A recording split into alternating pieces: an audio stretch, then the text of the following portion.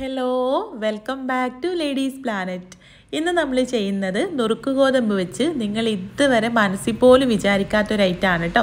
നുറുക്ക് ഗോതമ്പ് വെച്ചിട്ട് പഞ്ഞി പോലെ ചെയ്തെടുക്കാൻ പറ്റുന്ന ഒരു കേക്കിന്റെ റെസിപ്പിയാണ് ഇന്ന് നമ്മൾ ചെയ്യുന്നത്.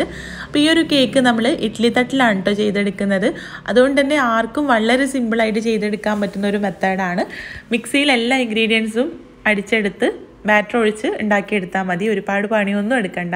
നമുക്ക് എങ്ങനെയാണ് ഈ കേക്ക് ഉണ്ടാക്കുന്നതെന്നുള്ളത് നോക്കാം. വീഡിയോയിലേക്ക് പോണതിന്റെ മുൻപായിട്ട് നമ്മുടെ ചാനൽ നിങ്ങൾ സബ്സ്ക്രൈബ് ചെയ്യാതെയാണ് വീഡിയോ കാണുന്നതെങ്കിൽ ഒന്ന് സബ്സ്ക്രൈബ് ചെയ്യുക വീഡിയോ ഇഷ്ടപ്പെടുകയാണെങ്കിൽ ഇപ്പോൾ തന്നെ ഒന്ന് ലൈക്ക് ചെയ്യുക കേട്ടോ അപ്പോൾ നമുക്ക് എങ്ങനെയാണ് ഈ കേക്ക് ഉണ്ടാക്കുന്നതെന്നുള്ളത് നോക്കാം. ഈ ഒരു കേക്ക് ഉണ്ടാക്കാൻ വേണ്ടിയിട്ട് ഞാനിവിടെ അരക്കപ്പ് കപ്പ് നുറുക്ക് ഗോതമ്പാണ് കേട്ടോ എടുത്തിട്ടുള്ളത്. രണ്ട് മണിക്കൂർ നേരം കുതിർത്തെടുത്തതാണ്. ഇനി ഇത് നല്ല പോലെ ഒന്ന് കഴുകി ഊറ്റിയതിന് ശേഷം മിക്സിയുടെ ജാറിലേക്ക് ചേർത്ത് കൊടുക്കാം. അപ്പം നല്ല പോലെ കഴുകി ഊറ്റിയെടുത്ത നുറുക്ക് ഗോതമ്പ് മിക്സിയുടെ ജാറിലേക്ക് ചേർത്തിട്ടുണ്ട്. ഇനി ഇതിലേക്ക് രണ്ട് കോഴിമുട്ട ചേർത്തിട്ട് നമുക്കിത് നല്ല പോലെ ഒന്ന് അടിച്ചെടുക്കാം. നുറുക്ക് ഗോതമ്പ് വെള്ളമൊന്നും ചേർക്കരുത് കേട്ടോ അപ്പോൾ അതുകൊണ്ടാണ് നമ്മൾ ആദ്യം തന്നെ കോഴിമുട്ട ചേർത്തിട്ട് അരച്ചെടുക്കുന്നത്. അപ്പോൾ നല്ല പോലെ അരച്ചെടുത്ത് കഴിഞ്ഞാൽ ഇതിലേക്ക് കാൽ കപ്പ് ഓയിൽ ചേർത്ത് കൊടുക്കാം. ഏതെങ്കിലും റിഫൈൻഡ് ഓയിൽ കേട്ടോ ഞാനിവിടെ സൺഫ്ലവർ ഓയിലാണ് എടുക്കുന്നത്. പിന്നെ നമ്മുടെ ഈ ഒരു കേക്ക് നല്ലൊരു ടേസ്റ്റിൽ കിട്ടാൻ വേണ്ടിയിട്ട് ഇതിലേക്ക് രണ്ട് ടേബിൾ സ്പൂൺ പാൽപ്പൊടി ചേർത്ത് കൊടുക്കുന്നുണ്ട്. പിന്നെ ഒരു നുള്ളു ഉപ്പും കൂടെ ചേർത്ത് കൊടുക്കാം. പാൽപ്പൊടി ഓപ്ഷണൽ ആണ് കേട്ടോ നിർബന്ധമൊന്നുമില്ല. ചേർക്കുകയാണെങ്കിൽ നമ്മുടെ കേക്കിന് നല്ല ടേസ്റ്റ് ഉണ്ടാവും.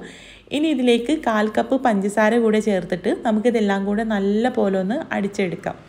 ഇപ്പോൾ നമ്മളിതെല്ലാം കൂടെ ചേർത്തിട്ട് നല്ല പോലെ ഒന്ന് അടിച്ചെടുത്തിട്ടുണ്ട്. ഇനി ഇതിലേക്ക് അര ടീസ്പൂൺ ബേക്കിംഗ് പൗഡറും കാൽ ടീസ്പൂൺ ബേക്കിംഗ് സോഡ കൂടെ ചേർത്ത് കൊടുക്കാം.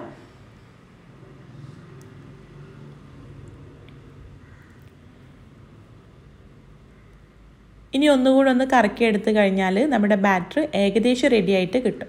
ഇനി നമുക്ക് ഒരു ഇൻഗ്രീഡിയന്റും കൂടെ ചേർക്കാനുണ്ട്. അത് നമ്മൾ ബൗളിലേക്ക് മാറ്റിയതിന് ശേഷമാണ് കേട്ടോ ചേർത്ത് കൊടുക്കുന്നത്. പിന്നെ നമ്മൾ ഇതിലേക്ക് ചേർക്കുന്നത് ഗോതമ്പ് പൊടിയാണ്. കാൽ കപ്പ് ഗോതമ്പ് പൊടി എടുത്തിട്ടുണ്ട്. അത് ഇതിലേക്ക് ചേർത്തിട്ട് കട്ടയില്ലാതെ ഒന്ന് മിക്സ് ചെയ്തെടുക്കാം. നമ്മൾ ഗോതമ്പ് നുറുക്ക് വെച്ചിട്ടാണല്ലോ ചെയ്യുന്നത്. അതുകൊണ്ടാണ് ഗോതമ്പ് പൊടി ചേർക്കുന്നത് ഹെൽത്തി ആയിട്ട് കിട്ടാൻ വേണ്ടിയിട്ട്. അപ്പോൾ നിങ്ങൾക്ക് മൈദ വേണമെങ്കിൽ മൈദ ഈ സമയത്ത് ചേർത്ത് കൊടുക്കുക കേട്ടോ. ഏതാണെങ്കിലും കുഴപ്പമില്ല.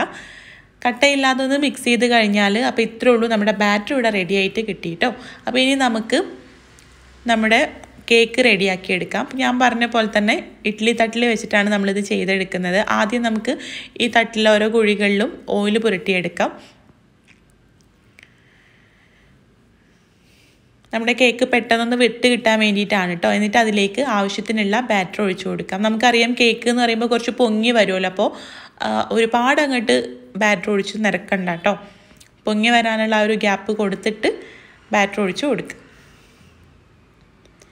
ഇനി നമുക്കിതൊന്ന് സ്റ്റീം ചെയ്തെടുക്കാം. അപ്പോൾ അതിന് വേണ്ടിയിട്ട് ഞാനിവിടെ ഇഡ്ഡലി പാത്രത്തിൽ വെള്ളം വെച്ച് തിളപ്പിച്ചെടുത്തിട്ടുണ്ട്. ഇനി അതിലേക്ക് ഇത് ഇറക്കി വെച്ച് കൊടുക്കാം. ഞാനിവിടെ മുകളിലെ തട്ടിൽ വെച്ചിട്ട് മാത്രമായിട്ട് അഞ്ചെണ്ണം വീതമാണ് കേട്ടോ ചെയ്തെടുക്കുന്നത്. കാരണം താഴെയുള്ളത് പൊങ്ങി വന്നിട്ട് അതിന്റെ ഷേപ്പൊക്കെ പോകാനുള്ള ചാൻസ് ഉണ്ട്. അപ്പം അഞ്ചെണ്ണം വീതമാണ് ചെയ്തെടുക്കുന്നത്. ഏകദേശം ഒരു മൂന്നോ നാലോ മിനിറ്റ് ആകുമ്പോൾ തന്നെ നമ്മുടെ കേക്ക് റെഡി ആയിട്ട് കിട്ടും. നന്നായിട്ട് തണുത്തതിന് ശേഷം നമുക്കിത് ഡീമോൾഡ് ചെയ്തെടുക്കാം. എന്നാൽ നമുക്ക് പൊട്ടാതെ തന്നെ കിട്ടും. തണുക്കാൻ വേണ്ടിയിട്ട് വെയിറ്റ് ചെയ്തിട്ട് തണുത്തതിന് ശേഷം മാത്രം ഡിമോൾഡ് ചെയ്തെടുക്കുക കേട്ടോ അപ്പോൾ ഇത്രേ ഉള്ളൂ. നുറുക്ക് ഗോതമ്പ് വെച്ച് നല്ല പഞ്ഞി പോലെ ചെയ്തെടുക്കാൻ പറ്റുന്ന നമ്മുടെ ടേസ്റ്റി ആയിട്ടുള്ള കേക്ക് ഇവിടെ റെഡി ആയിട്ടുണ്ട്. തീർച്ചയായിട്ടും നിങ്ങൾ ട്രൈ ചെയ്ത് നോക്കണം കേട്ടോ നിങ്ങൾ ട്രൈ ചെയ്ത് നോക്കുന്ന സമയത്ത് ഫീഡ്ബാക്ക് അറിയിക്കാൻ മറക്കരുത്. അതുപോലെ വീഡിയോ ഇഷ്ടമായിട്ടുണ്ടെങ്കിൽ ലൈക്ക് ചെയ്യാനും ഷെയർ ചെയ്യാനും കൂടെ മറക്കരുത് കേട്ടോ പിന്നെ ഇതുപോലെയുള്ള വെറൈറ്റി ആയിട്ടുള്ള റെസിപ്പീസിന് വേണ്ടിയിട്ട് നമ്മുടെ ചാനൽ സബ്സ്ക്രൈബ് ചെയ്യാനും മറക്കരുത്. താങ്ക്